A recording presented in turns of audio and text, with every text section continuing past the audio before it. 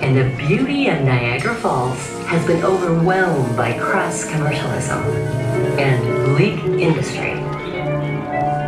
The lands surrounding Niagara Falls are largely controlled by private owners, and public access to the falls is limited. Step right up and come see Niagara Falls! The pristine natural landscape of Niagara is quickly disappearing, creating an atmosphere more carnival and inspirational.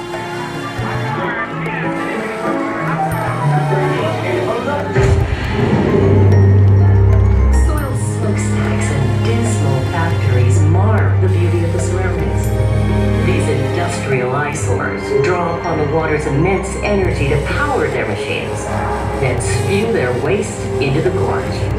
Into this world of carnival hucksters and dilapidated mills walks Frederick Olmsted, renowned landscape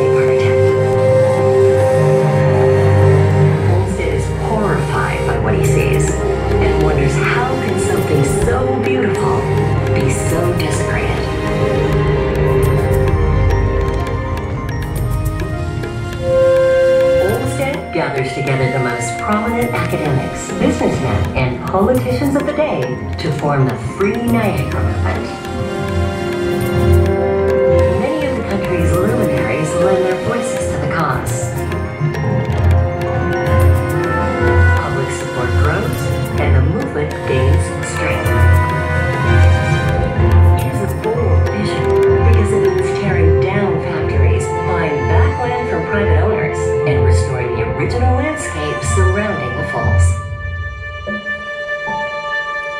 A painting of Niagara by Frederick Church, a distinguished American artist, helps inspire the movement, reminding the public of what has been lost and what Free Niagara promises to restore.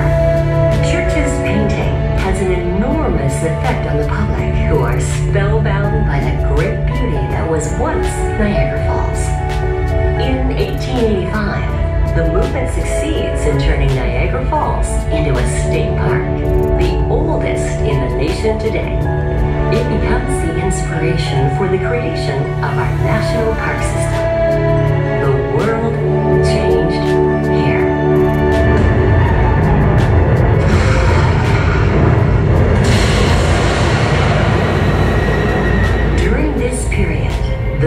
scientist Nikola Tesla, a recent immigrant to America, dreamed of generating energy by harnessing the power from the falls. Just think of it.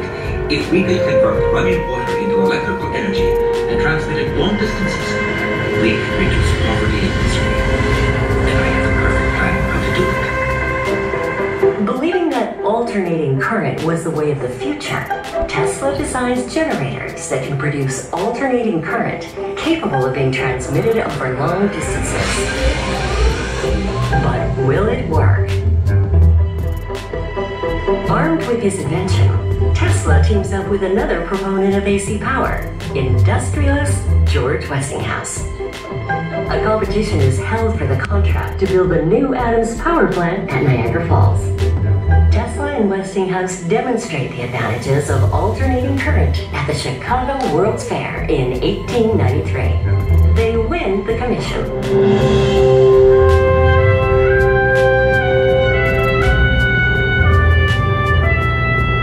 The Adams Power Plant becomes the first large-scale hydroelectric power plant and the first to generate AC current using Tesla-designed generators.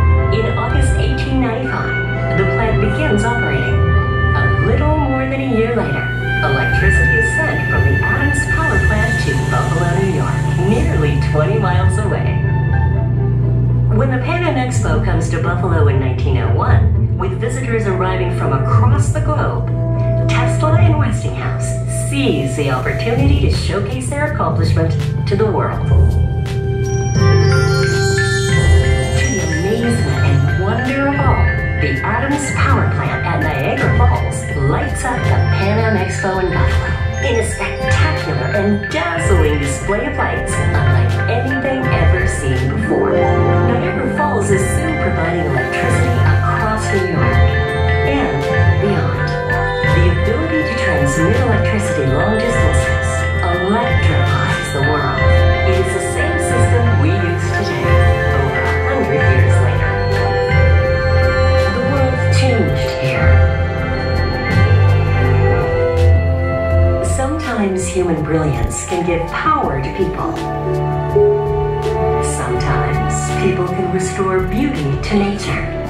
And sometimes by working together, we can ensure that beauty and power exist together.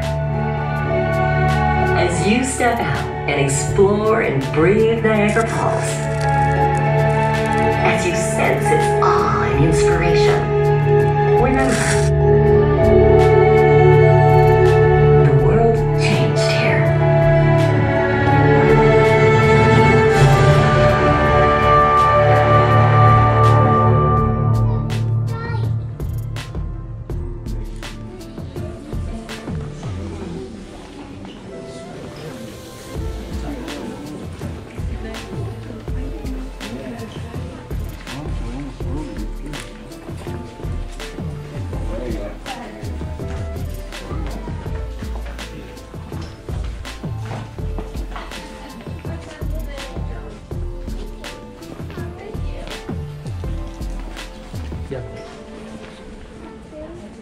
Yeah, beta.